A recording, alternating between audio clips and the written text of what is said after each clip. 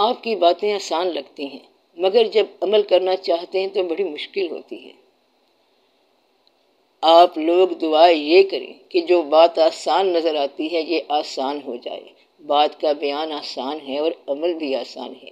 एक चीज़ इसमें pre condition है, वो पहले से तय है। ये कि आप अपने दिल को आरज़ू से खाली करें टेम्पटेशन निकाल दो, तमन्ना निकाल दें, गरूर निकाल दें अना भी निकाल दें और अल्लाह ताला की बात इस दिल में आने दें। ज़्यादा प्रोग्राम बनाने छोड़ दें शिकवा निकाल दें और तकाजा निकाल दें। कंप्लेंट निकाल दें, शिकायत निकाल दें, डिमांड निकाल दें। तलब निकाल दें और ज़्यादा प्रोग्राम बनाना छोड़ दें। अब आप देखें कि आपका दिल आर्जू से खाली हो जाएगा। जब आपने शिकवा, शिकायत और प्रोग्राम छोड़ दिए तो फिर आप खुद ही अल्लाह का प्रोग्राम बन जाएँगे।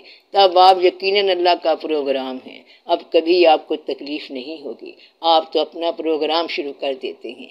और अल्लाह का अपना प्रोग्राम होता है। उसने आपको अपने प्रोग्राम पर भेजा हुआ है और आप दूसरा प्रोग्राम शुरू कर देते हैं।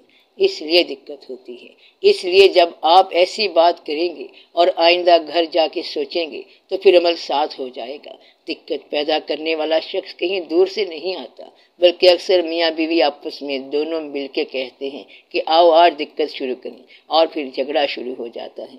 तो आप एक दूसरे को राज़ी किया करें। अल्लाह कब राज़ी होता है? जब आप एक दूसरे को राज़ी रखें। मैं सिर्फ़ एक शख्स से बात नहीं कर रहा, बल्कि मैं सबसे बात कर रहा हूँ। आप ज़रूर एक दूसरे को राज़ी रखा करें। अल्लाह को राज़ी रखने के लिए ज़रूरी है कि एक दूसरे को राज़ी रखा करें। आप जिसको राज़ी रख सकते हैं तो ज़रूर रखें। और अगर नहीं रख सकते तो कोशिश तो कर लो। इसमें कामयाब हो जाओ तो बहुत बेहतर है। या दुआ करें कि या अल्लाह राज़ी रहने वाले खुद ही राज़ी रहें, क्योंकि हमसे तो राज़ी नहीं होते। ये बेचारे कमज़ोर लोग आपको क्या राज़ी करेंगे? आप खुद राज़ी रहा करें। तो आर से राज़ी रहने का अमल मर्दों के ज़िम्मे है और राज़ी रखने की कोशिश औरतों के ज़िम्मे है। अगर वो आपको राज़ी कर जाए तो बहुत बेहतर है। और अगर ना कर सकें तो आप माफ़ कर दिया करें मैं आपको आकबत की बात बता रहा हूँ। कोई भी औरत अपने शोहर के खिलाफ सख्त और बेअदब लफ्ज़ न कहे, बल्कि खामोश हो जाए। ये आकबत की बात है। और कोई मर्द अपनी बीवी के माँ बाप के खिलाफ बात ना करे। कोई बीवी अपने मियाँ के माँ बाप के खिलाफ बात ना करे। बस ये दो बातें ज़रूर तय कर लो। दोनों के वालदेन के अदब की बहुत ज़रूरी है। आप लोग एक दूसरे को अकोमोडेट करो और मोहब्बत के साथ सफ़र पूरा करो। बस यही आशियाना है। चार दिन का मेला है, फिर इसके बाद ये मेला ख़त्म हो जाना है। ज़िंदगी में और बहुत मसाइल हैं। पता नहीं आप कहाँ कहाँ हलाक होंगे। इसलिए ये ज़िंदगी है।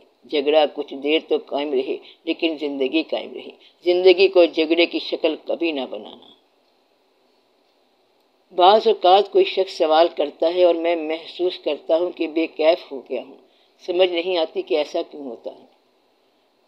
वो शख्स इन ट्यून होता है, माइल होता है। एक आवाज़ के साथ और दूसरी आवाज़ कोई और इफ़ेक्ट कर जाती है, कोई और असर कर जाती है। इसलिए आपकी हारमोनी और तोज़न जो है वो डिस्टर्ब हो जाता है। अगर आदमी एक राग में महव हो तो दूसरा राग चाहे जितना दिलकश हो, उसको समझ नहीं आती। आदमी अगर एक चीज़ को देख कर महव हो, देख रहा हो, और दरमियान में से कोई आदमी गुजर जाए तो वो मंजर टूट जाता है। ऐसा होता रहता है। लेकिन ये ज़रूरी बात है कि दूसरों को भी उतना ही हक है, जितना आपको है। बराबर का हक है। उस शख्स की आवाज़ को भी अच्छा समझो, बल्कि सारी आवाज़ें अच्छी आवाज़ें हैं, सारे चेहरे अच्छे हैं और सब बातें ठीक हैं। अल्लाह आपको एक अच्छा मुस्तबिल अता फरमाए। बस अब दुआ करो, क्या दुआ की जाए? अल्लाह ताला आपकी ज़िंदगी में अच्छे दिन लाए, बहुत अच्छे दिन लाए। आपके कुर्ब में करीबी लोगों को आपकी इज़्ज़त का हौसला पैदा हो।